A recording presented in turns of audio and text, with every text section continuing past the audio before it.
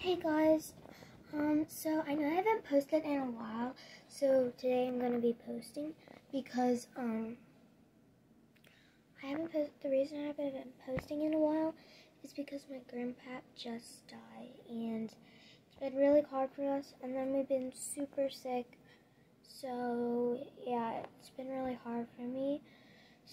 But I just want you to know that I will be posting a little bit more often now.